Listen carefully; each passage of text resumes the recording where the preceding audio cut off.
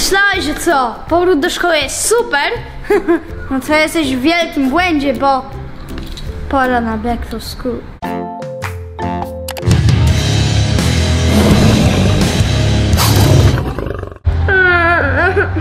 Ja nie chcę przyrki. Na szczęście nie będę miał przyrki w tym roku, bo będę miał biologię i geografię.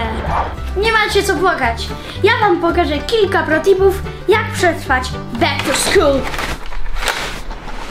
Zapraszam. Pamiętaj, że najważniejsze w twoim życiu jest hajs!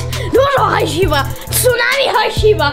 Prysznic hajsiwa! Wszystko to hajs! Nad! Pamiętajcie, że pieniądze oraz drogie ubrania nie są najważniejsze. Najważniejsza jest kreatywność. Jeśli nie masz zeszytu, to zawsze możesz skorzystać z koszulki swojej.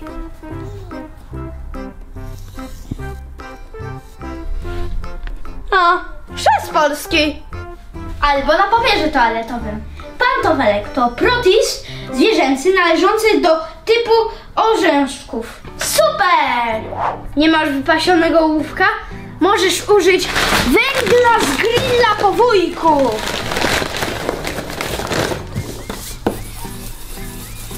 A jak już skończysz rysować, to potem możesz go zjeść. Nie dostaniesz biegunki. Nie masz kanapek do szkoły? Nic nie szkodzi. Wystarczy ci bułka tarta, woda i pomieszać. Ikea style.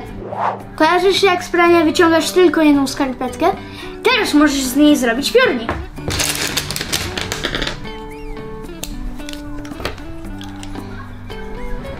Też do samoobrony.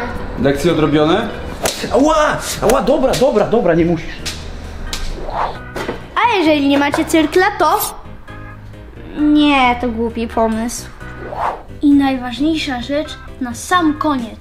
Sprawdźcie, czy nie zostawiliście kanapek z poprzedniego roku.